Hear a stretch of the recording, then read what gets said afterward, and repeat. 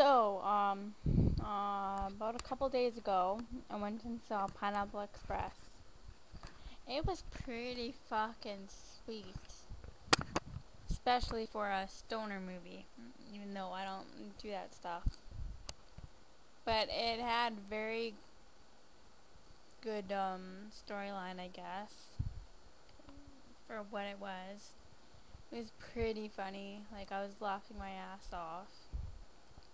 Um, I'd have to give it at least four and a half stars. It was pretty sweet. Um, I really liked it. It's a stoner comedy. It's funny. That's about it. So I guess I'll talk to you folks later. Peace.